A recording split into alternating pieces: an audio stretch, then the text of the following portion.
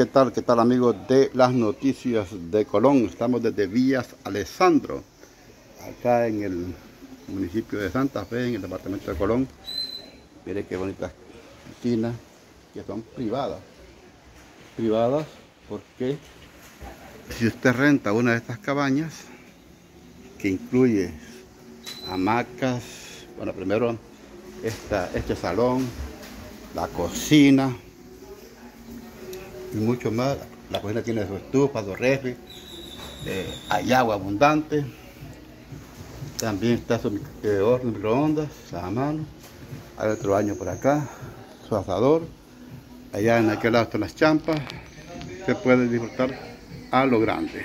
Villa Alessandro en Santa Fe, departamento de Colón.